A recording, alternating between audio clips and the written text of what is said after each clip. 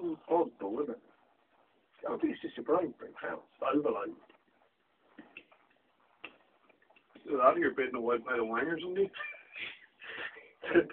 The thing is, you start panicking about having a panic attack. So it's Mm. so self-perpetuating that you think, oh, I'm fucking having a panic attack. That's historical. Yeah. Black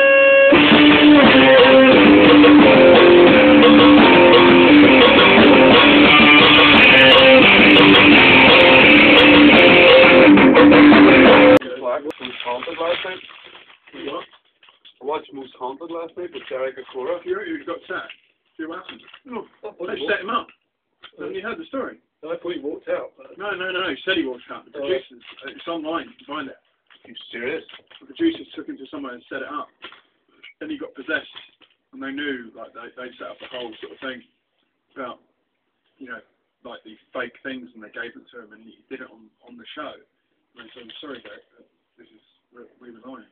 We wanted to see if you were real." They did it live on air. well, it's fake to them, yeah. Live on air. And he was all like, "Oh, oh," and they were like, "Derek's not sure." He's like, "Um." Um, um, uh,